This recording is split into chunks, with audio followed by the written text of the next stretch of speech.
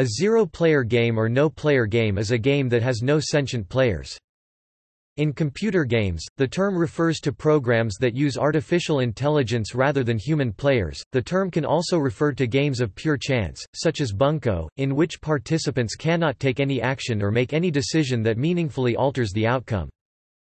Conway's Game of Life, a cellular automaton devised in 1970 by the British mathematician John Horton Conway, is considered a zero-player game because its evolution is determined by its initial state, requiring no further input from humans. In addition, some fighting and real-time strategy games can be put into zero-player mode where one AI plays against another AI.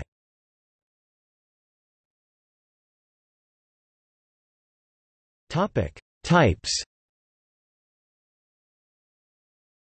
There are various different types of games that can be considered zero-player.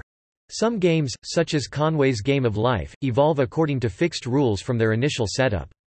Others such as Snakes and Ladders evolve according to chance, but similarly the players have no decisions to make and have no impact on how the game progresses. A more complex variation on the above is the case of artificial intelligences playing a game.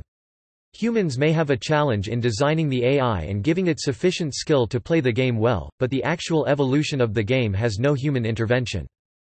For solved games the optimum strategy for all players is known. Players can maximize their chances of winning by following these strategies, and any deviation would be sub-optimal play. Tic-tac-toe is a trivial example, two players who follow the easy-to-learn optimum strategy rather than making sub-par decisions of their own will always find their games end in a draw.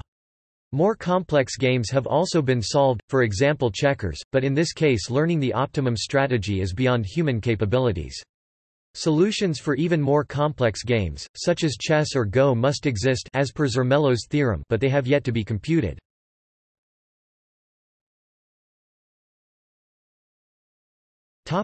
See also Single-player game Two-player game Multiplayer game Incremental game, also known as idle game Progress Quest Godville